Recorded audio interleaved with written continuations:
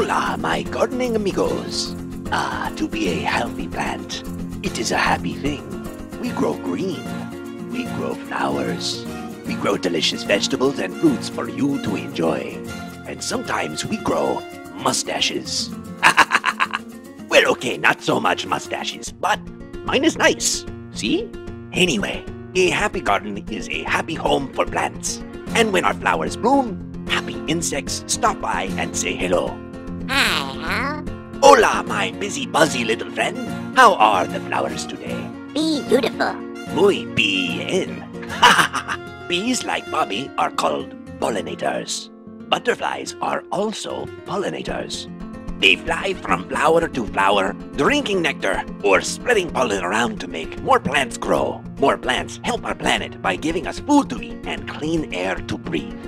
Pollinators are your amigos. In fact, most insects you find in the garden, amigos, like ladybugs, these are good because they help stop bad bugs from eating and attacking our plants. Yes, I'm afraid it's true. Even though most insects are good, there are some that are, well, not so nice. Bad bugs like whiteflies and aphids attack sick and weak plants first. And when your plants are sick and weak, plant diseases can attack too.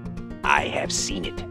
That is why it is muy importante to give your plants water and food. You can click on El Watering Can or El Plant Food on your screen to learn more. When you keep your plants healthy, you can keep bad bugs and diseases away. It is that simple. Now, different plants are attacked by different things. Your best chance of winning this battle is to visit your garden every day. If you see bad bugs eating your leaves, pick them off right away and drop them in a bucket of soapy water. Plop, just like that. If you see small groups of bugs hanging around the branches and they look like they are up to no good, try spraying your entire plant with soapy water. Take that, bad bugs! If you notice that some leaves have funny spots on them, or if their color is changing to anything other than the usual healthy green, your plant might have a plant disease.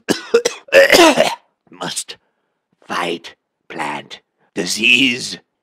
To win this fight, take a leaf or stem sample to a garden center and ask for the safest product to use on your vegetable plant. It is muy importante that you only use products that are safe to use on food plants. Other good sources of plant disease information come from places called Cooperative Extension Service Office. Ask a grown-up to find the office that is near you. An extension office has plant doctors who can help you identify and treat your plant problems. Whatever the solution, always ask a grown-up to help you treat the sick plants. Before you know it, you could be back to a healthy, beautiful vegetable garden. Ole! This is Hal E. Peno signing off.